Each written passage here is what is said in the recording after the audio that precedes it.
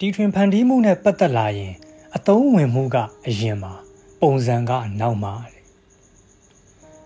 အသုံးဝင်မှုကိုအရင်ဦးစားပေးပါ ပုံစံကနောက်မှပြောင်းလို့ရပါတယ်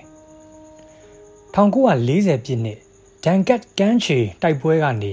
ဗြိတိရှစစ်တပ်လွတ်လာတယ်ဒါပေမဲ့တက်ရဲ့လက်နက်တွေအားလုံးနီးပါးကမ်းခြေမှာကြံခဲ့တယ်လက်နက်တွေမရှိဘဲစစ်တိုက်လို့မရဘူးမလား ဒီတော့တက်အနေနဲ့လက်နက်အသစ်တွေအမြန်လိုနေပြီလက်နက်အသစ်တွေရဖို့နီးဗျူဟာအသစ်စဆွဲရပြီဒီနေရာမှာသူတို့ရဲ့ဗျူဟာကဘလောက်အရေးပါတယ်လဲဆိုတာသိတာလာတာပဲ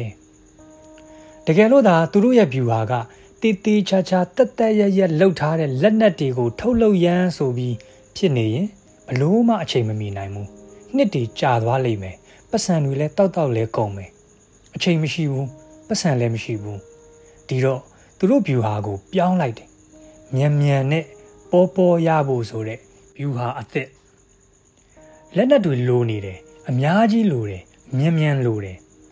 ပုံမှန်ဆိုရင်လက်နက်အသစ်တစ်ခုဒီဇိုင်းထွင် ထုတ်လုပ်ဖို့ဆိုတာ engineer တွေကျွမ်းကျင်သူတွေအဆင့်ဆင့်ဖြတ်ရတယ်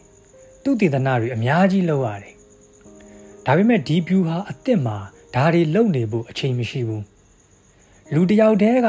သူ့အိမ်ရဲ့မီးဖိုချောင်စပွဲပေါ်မှာတင်လက်နက်အသစ်ကိုအပီးတီထွင်ပြစ်တာ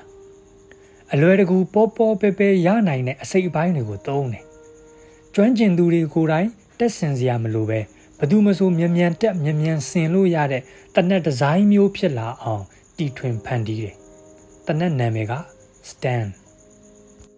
အဲ့ဒီ stand တနက်တွေတဲကို9 mm ကြည်စံထည့်လို့ရတယ် 9 mm ကြည်စံဆိုတာပစ္စတိုတနက်တွေတော်တော်များများမှာသုံးတာတနက်ရဲ့ကိုယ်ထဲမှာသုံးတဲ့တတုကလည်းကားအိတ်ဇောပိုက်တွေမှာသုံးတဲ့တတုသားတစ်မျိုးပုံသွင်းရတိတ်လွယ်တယ်တူနဲ့ထူပြီးပုံသွင်းမလားဖိဆက်နဲ့ဖိချမလားရတယ်တနက်ထဲမှာပါတဲ့အခြားအစိတ်အပိုင်းတွေလည်းကြိုက်တဲ့တန်တန်ပစ္စည်းဆိုင်မှာဝင်ဝယ်လို့ရတဲ့ပစ္စည်းတွေတနက်ထဲမှာသုံးတဲ့စပရင်ကိုကြတော့ မှုရစပရင်ထုတ်တဲ့ကုမ္ပဏီတစ်ခုကိုအပ်လိုက်တယ်တနက်တစ်ခုလုံးမှာအစိတ်ပိုင်း48ခုပဲပါတယ်ဘာဆက်ယုံမှမလိုဘူးတနက်ကိုကိုယ်အိမ်ထဲမှာကိုစင်လို့ရတယ်တနက်တန်ဖိုးကစတာလင်ပေါင်း2ပေါင်လူတယောက်ရဲ့တပတ်စာဝင်ငွေပဲရှိတယ်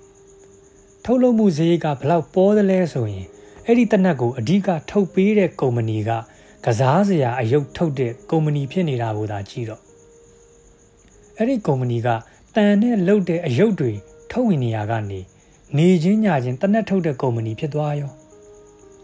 စစ်ပွဲကာလအတွင်းမှာစတန်တနက်၄တန်းကျော်ထုတ်လုပ်နိုင်ခဲ့တယ်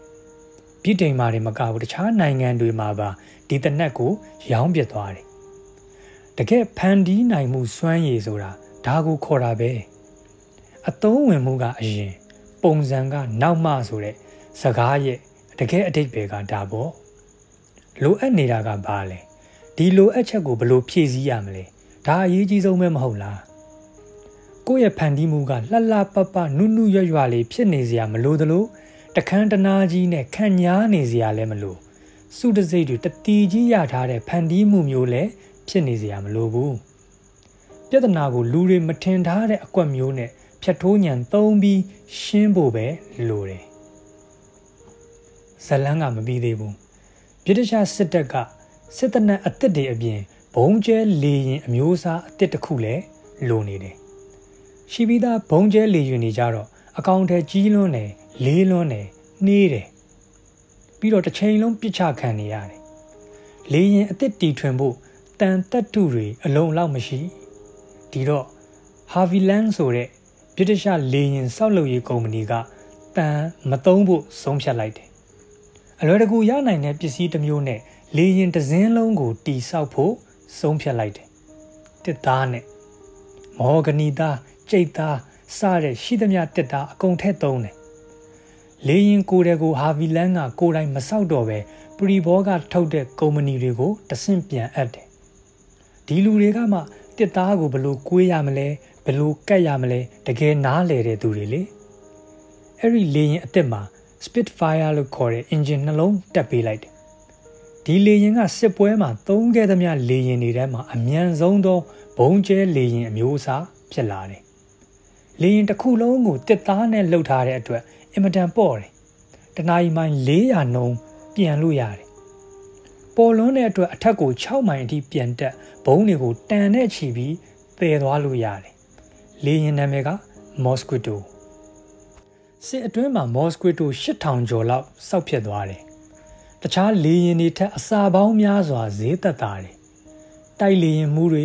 လေတက်စစ်သားတွေကလည်းဒီလေရင်ကိုသိတဲ့ဘောကြကြတယ်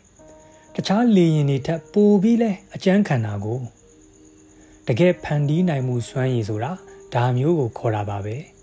အသုံးဝင်မှုကအဓိကဖြစ်တယ်ပုံစံကအရေးမကြီးဘူးကိုဖန်တီးမှုက လှပနုရွပြီးစုတစိတ်တွေတတီကြီးရနေစရာမလိုဘူးပြဿနာကိုလူတွေမတွေးမိတဲ့ဖြတ်ထိုးညံမျိုးနဲ့ဖြေရှင်းတတ်ဖို့ပဲလိုတယ်ဖန်တီးနိုင်မှုစွမ်းရည်နဲ့ပတ်သက်ပြီး Winston Churchill ပြောဘူးတဲ့စကားလေးတစ်ခုရှိတယ်။ပတ်စံမရှိတဲ့အခါအုံနောက်ကိုပိုသုံးရတော့တာပဲတဲ့။တိတ်မှန်တယ်။ ဒီအကြောင်းအလေးကိုတစ်အပေါင်းတစ်ညီများချင်းသုံးသူမတူတဲ့ဖန်တီးခြင်းဆိုတဲ့စာအုပ်ကလေးကနေထုံနှုတ်တင်ပြတာဖြစ်ပါတယ်။အခုလိုဗီဒီယိုလေးတွေကိုအမြဲအားပေးခြင်းနဲ့ဆိုလို့ရှိရင်တော့ကျွန်တော်ရဲ့ YouTube channel လေးကို subscribe လုပ်ထားဖို့အတွက်ဖိတ်ခေါ်ပါတယ်အားလုံးကိုကျေးဇူးတင်ပါတယ်